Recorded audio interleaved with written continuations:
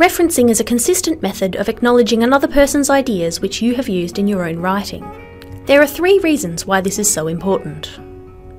It gives others credit for their ideas. It shows your work or demonstrates your understanding of the topic. And it helps with discoverability.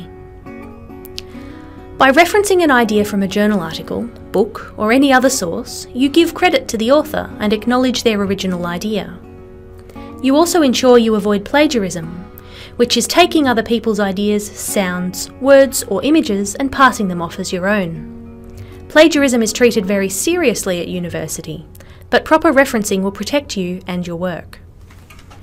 Referencing is evidence of your reading and understanding of a topic and shows your learning.